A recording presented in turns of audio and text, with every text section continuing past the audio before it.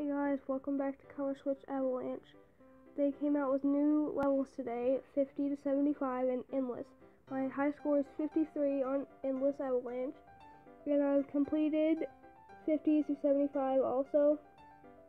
And the hardest one, I think, is 74. So just keep in mind that it's going to be really hard. But, like, let me show you what it's like.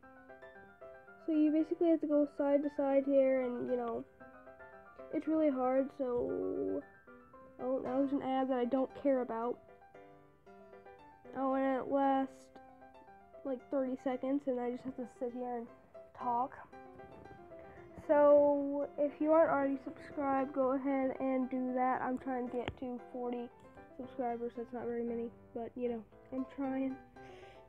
So, if you want me to show you any of these avalanche levels, just tell me in the comments I can probably get a video up by tomorrow. So it's 9:16 right now, so it would be like tomorrow afternoon. But anyways, I think that's it. Here's 75 real quick. It's pretty hard. Yep, that's pretty much it.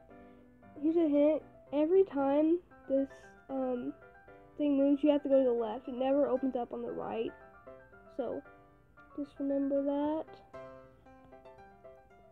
And I'll see you in the next video.